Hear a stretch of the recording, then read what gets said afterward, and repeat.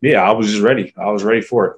And plus, there was you know some hecklers during the game talking to me, so I had to. It was their fault, really. It was their fault. Them. Yeah, they had a sign. They had a sign up that said, uh, uh, Le- LeBron won uh, Kuzma his ring.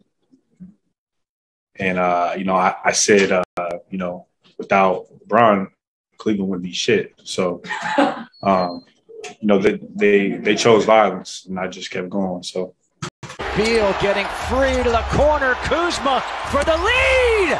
Wizards take. Come here, man.